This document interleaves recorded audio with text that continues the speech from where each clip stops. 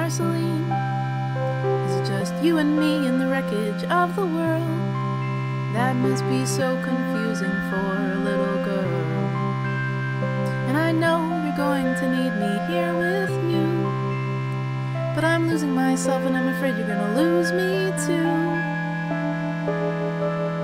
This magic keeps me alive, but it's making me crazy. And I need to save you. But who's going to save me? Please forgive me for whatever I do when I don't remember you.